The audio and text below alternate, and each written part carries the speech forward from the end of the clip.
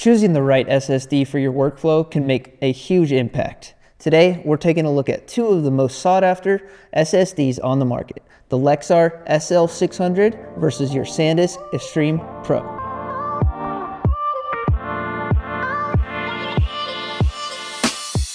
All right, off the bat, we have the Lexar SL600. This features a sleek, sandblasted aluminum enclosure, making it lightweight yet highly durable.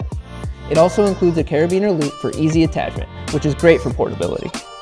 Now, on the other hand, the SanDisk Extreme Pro sports a rugged, rubberized design with IP55 water and dust resistance. While the Lexar is more compact and stylish, the SanDisk is built for those who need extra durability in harsh environments. The Lexar features a sleek design that's aimed at professionals and creatives, while the SanDisk is aimed at your rugged outdoor adventure type. All right, now let's talk speed. I went ahead and ran a Blackmagic speed test on both of these drives. As you can see here, the Lexar comes in at just over 1200 megabytes per second, where the SanDisk was struggling to hit 1100.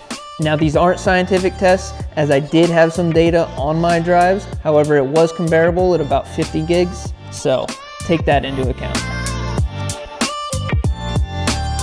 All right, let's talk about connectivity. Both of these feature a 3.2 USB-C type connection.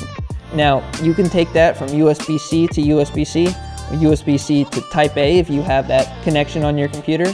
As long as you're using an appropriate 3.2 USB connector on your device, you should be able to reach something similar to what you see in my tests. Now let's talk about security.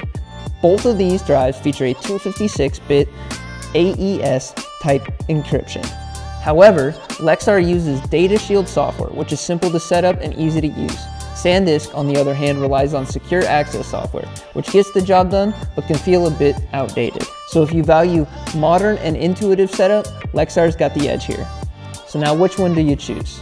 Well, my edge is gonna go to the Lexar SL600. Not only does this come in with faster speeds, but I do like the design and I'm not too rough on my gear, so I feel secure throwing this in my bag every day.